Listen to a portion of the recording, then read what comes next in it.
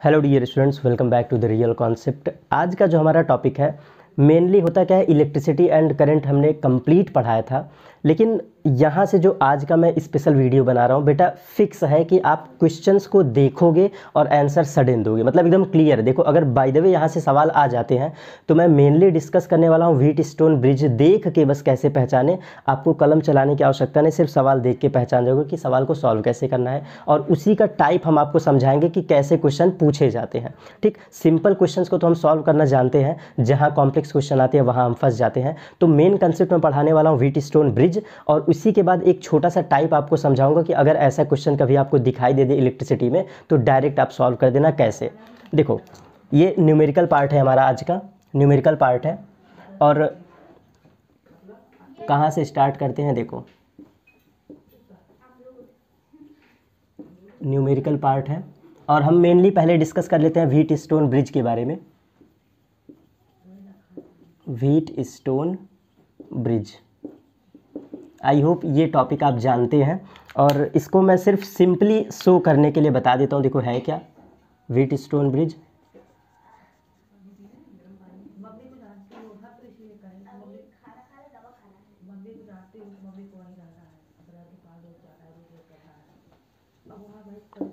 देखो, कुछ ऐसे चार सर्किट होते हैं और ये जुड़े होते हैं। एक बैटरी के थ्रू, यही आपका कहलाता है व्हीट स्टोन ब्रिज अब ज़रा बारीकी से सुन लो, ये मेन कंसेप्ट क्या है? आप कोई भी चार भुजाओं वाला वर्ग लो, देख लो ऐसे। चार भुजाओं वाला वर्ग लो और चारों भुजाओं में एक एक रजिस्टेंस जोड़ दो। ठीक? सुनते जाना बारीकी से, क्योंकि बनता कैसे, मैं यही समझा रहा हूँ। ठीक, ये है बना दिया हमने, चार भुजाओं वाला वर्ग लिए, चारों में एक एक रेजिस्टेंस जोड़ दिए। किसी भी एक विकर्ण में एक रेजिस्टेंस जोड़ दो, ये हमने मान लिया, एक रेजिस्टेंस विकर्ण समझते हैं ना डायगनल किसी भी एक डायगनल में रेजिस्टेंस जोड़ दो, और जो बचा डायगनल है, उस डायगनल में बैटरी जोड़ दो, उस डायगनल में बैटरी जोड़ दो, तब जो सेप बनता है, वो कहलाता है व्हीट स्टोन ब्रिज इसी शेप और साइज़ को कहते हैं हम लोग व्हीट स्टोन ब्रिज इसी सर्किट को कहते हैं। तो यहाँ पे देखो वही हुआ है, मैंने चीज़ें समझा दिया। देखो कैसे, चार साइडेड वाला ये वर्ग है, चारों में एक एक रेजिस्टेंस जुड़ा है, एक डायगनल में रेजिस्टेंस जुड़ा है और दूसरे डायगनल में बैटरी जुड़ा है। अगर कभी ऐसा सर्किट होता है तो इसको कहते हैं बैलेंस्ड व्हीट स्टोन ब्रिज और कंडीशन क्या होती है? यहाँ पे वी वोल्टेज की बैटरी है, होगी ठीक? अगर हम इसको P कह देते हैं, इसको Q कह देते हैं, इसको R कह देते हैं, इसको S कह देते हैं, ठीक है? तो अगर ये चार रेजिस्टेंस है तो बड़े बारीकी से समझना मैं कैसे समझा रहा हूँ चीज़ों को। जहाँ पे डायगनल वाला रेजिस्टेंस जुड़ा है ना, देख रहे हो डायगनल रेजिस्टेंस इसके ऊपर वाले रेजिस्टेंस का रेशियो मतलब P by Q is equal to R by S अगर कभी कोई ऐसा सर्किट दिखे जहाँ पे P by Q R by S का रेशियो सेम हो तो इसको कहते हैं व्हीट स्टोन ब्रिज मन में डाउट क्या उठता है? बच्चे इसी को गलती कर देते हैं, कहते हैं, सर आर को इधर भेज दीजिए क्यू को उधर भेज दीजिए. तो हम लिख सकते हैं P by R is equal to Q by S कहते हैं, सर, इसमें गलत क्या है? सही तो ये भी है। बात सही है मैथमेटिकली तो ये सही है, लेकिन जब इस फॉर्मूले को व्हीट स्टोन ब्रिज में अप्लाई करते हैं तो वो अनबैलेंस्ड व्हीट स्टोन ब्रिज होता है। मैथमेटिकली तो सही है, लेकिन ये प्रूव नहीं है तो इस चीज़ को मत कर देना। ये मत कह देना कि P बाई आर का रेशियो Q बाई एस हो जाए तो व्हीट स्टोन ब्रिज गलत हो जाएगा, तुरंत गलत हो जाएगा। तो मैथमेटिकली सही बट ये आपको अप्लाई नहीं करना है। क्यों? क्योंकि व्हीट स्टोन ब्रिज में जो डायगनल में जुड़ा रेजिस्टेंस होता है, इसके आर पार का रेशियो लेते हैं। ये वाला रेशियो डिवाइड बाई ये वाला रेशियो ये वाला रेशियो डिवाइड बाई ये वाला रेशियो ये हम रेशियो लेते हैं। और अगर ये रजिस्टेंस फॉलो होता है तो हम कहते हैं Wheatstone bridge maximum teacher यही पढ़ाते हैं। लेकिन सवाल ऐसे देता नहीं है। सवाल को कैसे पहचाने? अब आपको समझाता हूँ कि सिर्फ़ देख के कैसे पहचानना है, ठीक?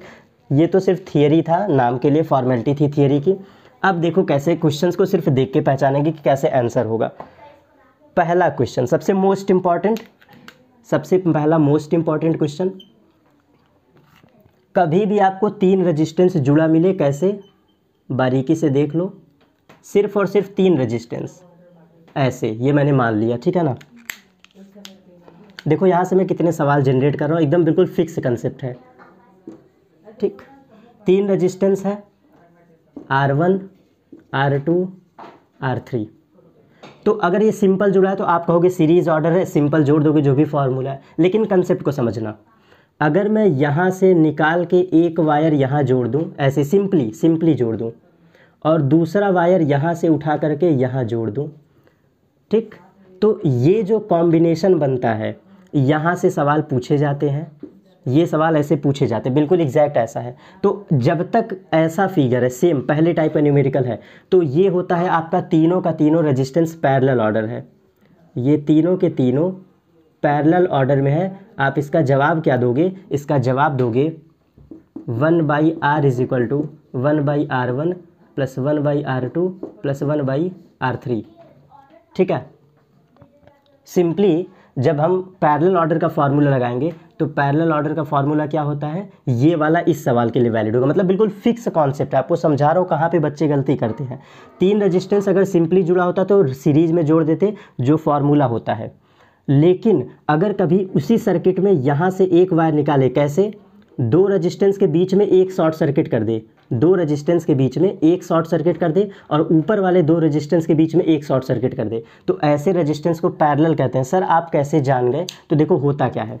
इस टर्मिनल को पकड़ो, यहाँ पे छुआ दो और इस टर्मिनल को पकड़ो, यहाँ पे छुआ दो। और जब इस फिगर को देखोगे तो एक्चुअल में ये फिगर ऐसा होता है।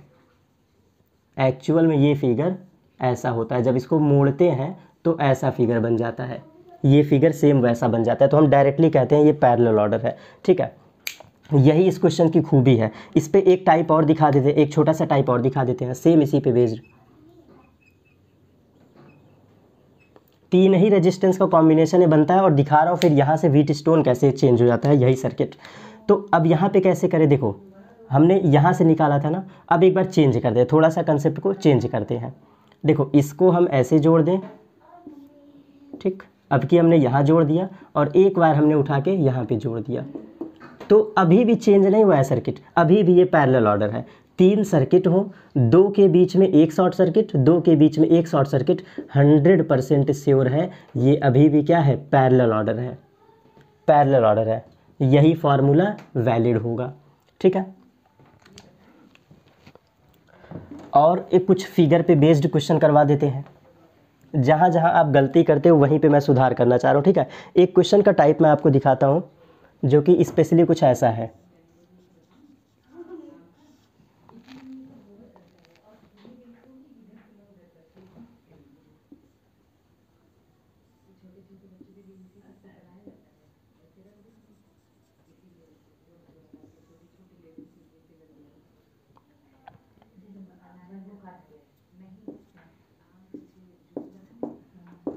देखो, ये सबसे स्पेशल टाइप का एक सवाल है। कभी भी आपको ये फिगर वाला सवाल दिखे R one R two R three कैसा भी रेजिस्टेंस हो, बड़े बारीकी से समझना ये हुआ क्या है। एक डायगनल था, देखो, यहाँ से एक वायर निकला, एक रेजिस्टेंस यहाँ, एक रेजिस्टेंस यहाँ, दूसरा रेजिस्टेंस यहाँ। ये भी आपका पैरेलल ऑर्डर है, कैसे? तीनों को खींच दो, ये टर्मिनल पकड़ो, ये टर्मिनल पकड़ो, खींच दो। तो जब इसको खींचोगे तो होगा क्या? ये पॉइंट इसके पास चला आएगा ये पॉइंट इसके पास चलाएगा। खुद से गौर से देखो, अगर हम इसको इधर शिफ्ट कर दें और इसको इधर शिफ्ट कर दें तो ये तीनों फिगर कैसे दिख रहे हैं? दबे दबे दिख रहे हैं? दबे हुए।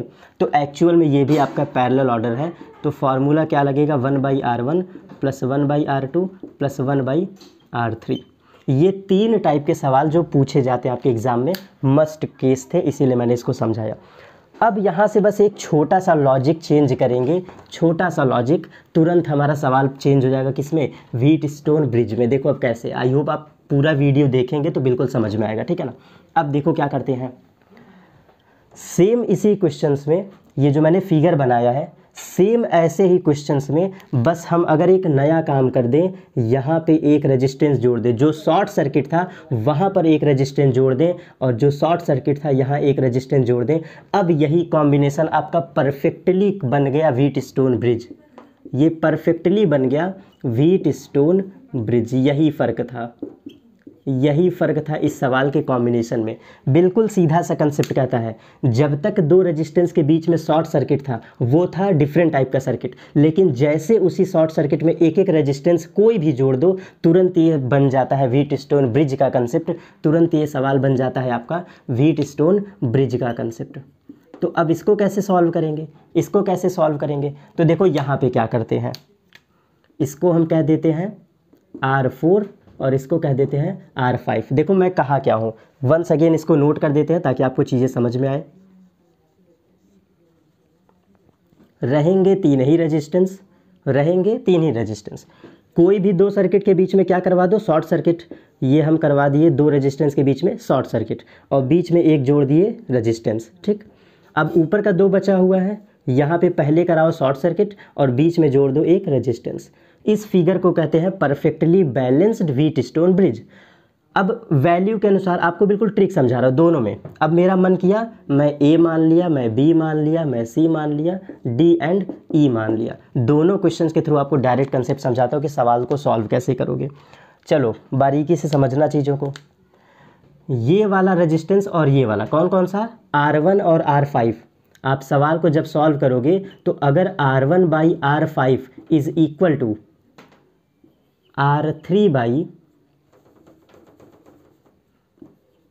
R four by R three. ये, अगर सवाल में ऐसा हो गया तो आप तुरंत इसको सॉल्व कर लोगे कैसे? व्हीट स्टोन ब्रिज मान के। और ये होगा हंड्रेड परसेंट से हो रहा है ऐसे सवाल में होगा। कैसे हम पहचाने? गौर से देखो, ये है कॉमन सर्किट जो डायगनल था। फिगर के अनुसार जो डायगनल था, वो ये है। इन दोनों का रेशियो डायगनल के एक साइड। इन दोनों का रेशियो बराबर इन दोनों का रेशियो ये कहलाता है व्हीट स्टोन ब्रिज का बिल्कुल परफेक्ट सवाल। और ऐसे सवालों में आर वन और आर थ्री का रेशियो लेना आर फोर और आर थ्री का, ये ये वाला रेशियो लेना। इस सवाल के लिए ये थीम आप कहोगे, सर, इसको कैसे करें? तो इसको भी गौर से देखो। बीच वाला ये कॉमन सर्किट है, ये कॉमन है। इसको मत देखो, भूल जाओ। ए और डी को लो, ऊपर वाला ए और D A by D is equal to E by C अगर सर्किट ऐसा हो गया कॉमन हो गया, ये दोनों का रेजिस्टेंस बराबर, ये दोनों का रेजिस्टेंस 100 परसेंट श्योर है। ये क्या है? वीट स्टोन ब्रिज का एप्लीकेशन है। और फिर आप सिंपली सॉल्व कैसे करोगे? बीच वाले को गायब कर दो, क्योंकि वीट स्टोन ब्रिज में क्या होता है? बीच वाला गायब कर दो। अब कैसे? ये दोनों सीरीज़ ये दोनों सीरीज़ आफ्टर पैरल आंसर आपका आ जाएगा। तो एक सवाल को सॉल्व कर देते हैं, इसी पर बेस्ड इसी कंसेप्ट पर बेस्ड हम एक सवाल पूरा प्योरली सॉल्व कर लेते हैं। तो चलो देखो कैसे, क्या करते हैं इसमें। हमने मान लिया फाइव ओम हमने मान लिया सिक्स ओम ठीक है। यहाँ पे हमने मान लिया टेन ओम और यहाँ पे हमने मान लिया ट्वेल्व ओम ठीक है। बीच में हमने मान लिया एट ओम। अब ये सारे अननोन वैल्यू हटा दो। R one R two R three जितने थे अननोन वैल्यू हटा दो। कुछ ऐसा सवाल दिया होगा। सॉल्व कैसे करेंगे? जब भी ऐसा सर्किट दिखे तो आप चेक करो। ऊपर का दोनों, ऊपर का दोनों। क्या five by six is equal to ten by twelve है? जरा लिखते हैं। टेन बाई ट्वेल्व ये कट जाएगा क्या? तो ये हो जाएगा फाइव ये हो जाएगा सिक्स अरे वाह, ये तो दोनों सेम हो गया। Five by six is equal to five by six ये सेम है। अगर ये सेम है तो ये क्या बन गया? डब्लू का मतलब वीट एस का मतलब स्टोन बी का मतलब ब्रिज वीट स्टोन ब्रिज बन गया। तो अगर ये वीट स्टोन ब्रिज है तो अब कैसे सॉल्व करें? बीच वाले सर्किट को गायब कर दो डायरेक्टली ठीक? इन दोनों को सीरीज़ गौर से देखो। ए को इधर खींचो बी को इधर खींचो। ये दोनों सीरीज़ ये दोनों सीरीज़ एंड आफ्टर पैरेलल तो चलो इस क्वेश्चन को कम्प्लीटली सॉल्व कर देते हैं और हमारा कॉन्सेप्ट क्या हो जाएगा? कंप्लीट हो जाएगा ये सवाल का।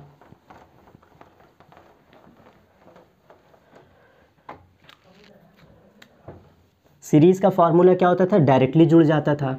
आर बराबर R one plus R two directly जुड़ जाता है। तो फाइव प्लस सिक्स ऊपर वाले के लिए, ठीक? उसी तरह नीचे वाले के लिए ten plus twelve ten plus twelve तो ये कितना हो गया? बारह दस बाईस और छः और पाँच, ग्यारह। अब ये दोनों कैसे दिख रहे हैं? पैरेलल तो डायरेक्टली सॉल्व कर दो। One by R is equal to one by R one plus one by R two. और इसका जवाब हो गया वन बाई टेन और sorry, one by eleven plus one by twenty two. और इस इक्वेशन को सॉल्व कर लीजिए। इज़ इक्वल टू यहाँ से आर की वैल्यू निकाल लीजिए। यही आपका एग्जैक्ट आंसर हो जाएगा। ये जो तीन सवाल मैंने समझाया है, बिल्कुल फिक्स है आपके बुक में, ऐसे ही सवाल पूछे जाते हैं। वीट स्टोन ब्रिज का इससे बेहतरीन एप्लीकेशन नहीं हो सकता है। और इसके अलावा तीसरा सवाल बनता भी नहीं है, क्योंकि मैंने प्योरली आपको वो कंसेप्ट बताया है, जो वीट स्टोन ब्रिज में ऑलवेज पूछे जाते हैं। सिर्फ़ और सिर्फ़ इसका फिक्स कंसेप्ट ही यही है, ठीक है?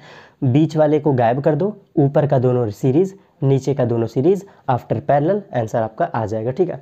अब इसके अलावा जो और डिफरेंट सवाल होंगे बेसिक सवाल होंगे। बेसिक सवाल का ऑलरेडी आपको एक वीडियो और मिल जाएगा। वहाँ पे सिर्फ़ और सिर्फ़ हम बेसिक सवाल के बारे में बात करेंगे। ये तो आपके कंसेप्चुअल सवाल थे, ठीक है? मिलते हैं डियर स्टूडेंट नेक्स्ट टॉपिक पर। Thank you